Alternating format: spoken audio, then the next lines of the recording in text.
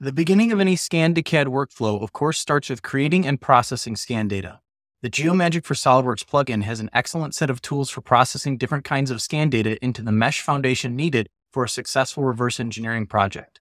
It is worth noting that while not in the scope of this video, the Geomagic plugin even supports this workflow one step earlier in the process, with the ability to scan directly into the software using many industry standard scanning devices. The first step of the process is manual scan editing and cleanup.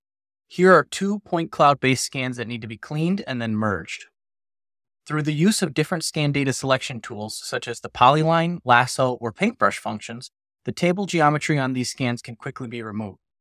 The select through and inverse selection tools are very handy as well when dealing with removing unwanted fixturing or table geometry collected during scan acquisition.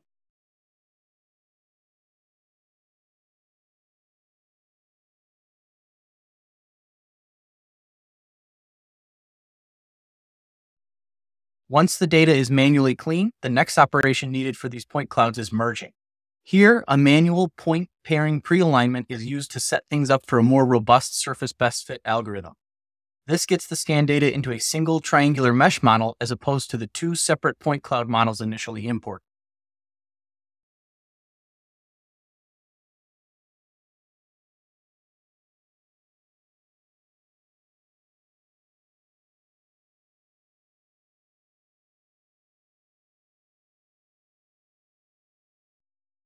Now that the file is in a mesh format, the focus can be shifted to broader tools with the capability of optimizing the entire dataset on a global scale.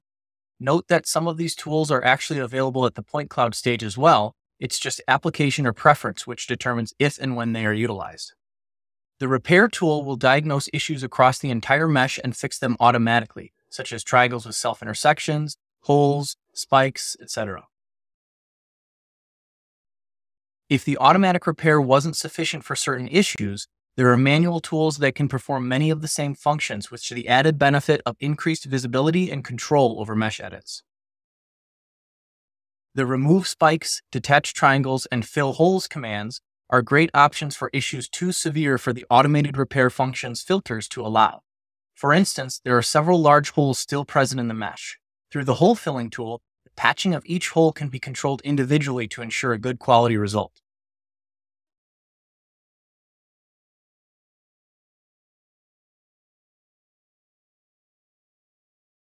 The remesh tool is useful for remapping the entire mesh with cleaner, more uniform triangles.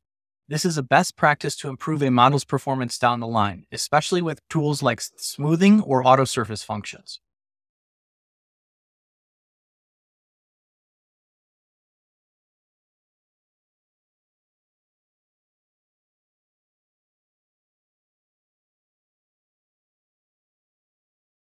The smoothing function is fairly self-explanatory. By running a remesh function before smoothing, the smoothing tool has been given a clean, evenly triangulated mesh of smoothing control points.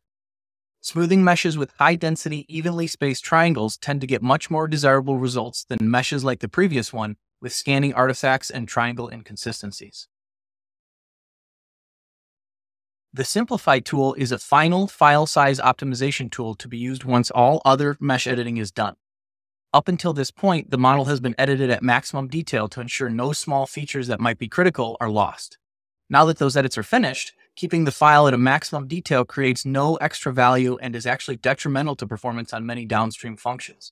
Through the Simplify tool, areas of low curvature are consolidated into larger triangles, while the details in areas of higher curvature are maintained at higher resolution by keeping triangle size smaller. This creates a functionally identical surface to work with while using significantly less data to represent it.